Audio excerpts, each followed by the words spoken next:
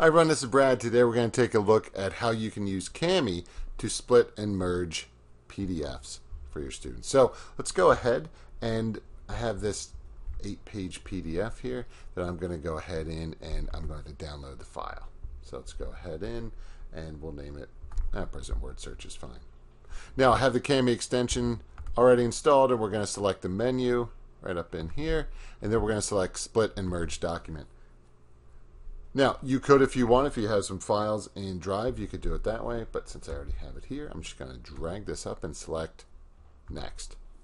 Now you can see all those pages are right there. So what I can do, if I like, because I just want these first four, I could go ahead in and do that and select Control, hold these down, and then drop them down. So you can see I just have the work. I do not have the answer sheets.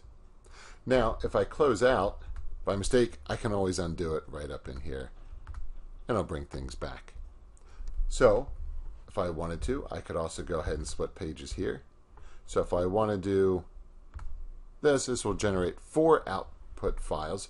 So it splits every two pages. If you'd like to do that, you could certainly do that. But in this one, what I'm going to do is I'm going to go ahead in, I'm going to do what I did before, select these four, drag them down. I'm also going to go ahead and export the answer key as well. I'm just going to download the files here for myself.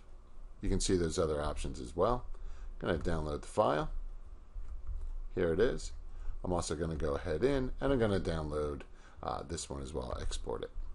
And again, I'm just going to put it just on my computer.